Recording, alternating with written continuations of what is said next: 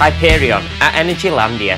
It's a roller coaster that'll leave you feeling like you've just flown a rocket ship. With a towering 252 foot lift hill, it's the perfect ride to fuel your need for speed. The climb to the top of the hill is like ascending into the atmosphere, preparing you for the heart pounding drop that follows. The rush of wind in your face is like the roar of a rocket engine as you plummet towards the ground. The tunnel after the drop is like a wormhole transporting you into the unknown. The airtime hill that follows is like a thrilling journey into space, blasting you towards Saturn's moon, followed by a dive loop back to Earth. The airtime hills that follow are like jumping through a field of asteroids, each one giving you a moment of weightlessness. The water feature at the end is like splashing down in the ocean after a thrilling space adventure. If you're looking for a coaster that's out of this world, then strap in and get ready for Hyperion at Energylandia. It's go time.